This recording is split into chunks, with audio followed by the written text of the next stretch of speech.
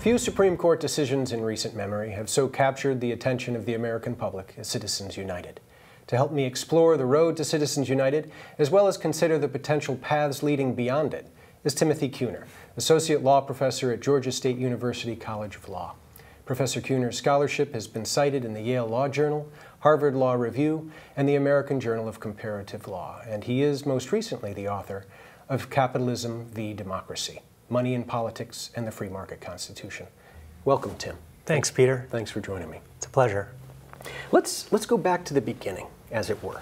Uh, 1976, Supreme Court, the case Buckley v. Valeo, um, setting the tone for money and politics cases. What did it say about how the political and the economic spheres should interact in our democracy? It said in what it accomplished mm-hmm. was to eliminate the distinction between the political and the economic spheres. Okay. And it said so in fairly open language. So this is a case about the first comprehensive federal election campaign act uh, at the mm-hmm. federal level that mm-hmm. had ever been passed in U.S. history. And it contained contribution limits, to campaigns, to candidates, to parties. It contained expenditure limits by candidates, by outside speakers, and so on. It contained a limited uh, public financing system for presidential campaigns. And the part that bothered the Supreme Court the most was uh, the expenditure limits. Mm-hmm. And so when you're in the realm of expenditure limits, you're talking about limiting the total volume of economic power that the, the candidates and the parties are putting out there. And in examining that question, the Supreme Court basically said democracy is a market. Mm-hmm. Money is speech. Political equality is an, is an unconstitutional rationale to limit this market, and that the entire United States was forced into this free market constitutional realm, mm-hmm. which we hadn't occupied before. And so it was really a radical, radical moment. Certainly, other advanced democracies are dealing with this issue as well, would be my thought. And, and certainly, their intention is to also protect the freedom of speech of their citizens.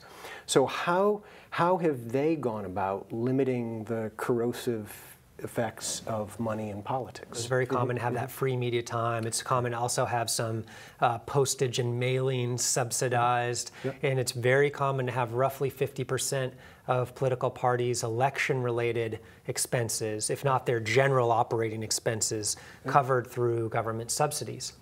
Wow. Um, so those are common methods. Uh, limitations of contributions from private individuals, limitations on corporate contributions and corporate expenditures vary quite a bit. Mm-hmm. And there's very respectable democracies that don't limit those sources too, too strictly. It's just that they offset them with significant public financing. Right. And so the US is so interesting. You know, we have this very privatized model of governance because we don't have good subsidies. The only federal races we really subsidize are presidential, and, and those subsidies are now almost insignificant, and, right. and most candidates are going to be turning them down, I think, going forward.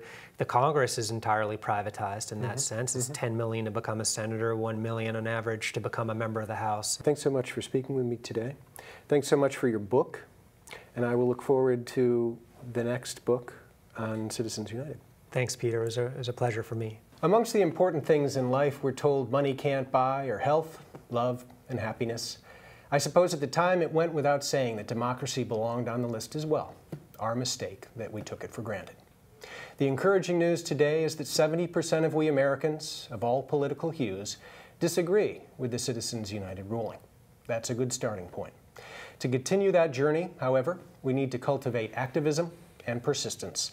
For while equality and access may be our birthrights, they have never been conceded without demand.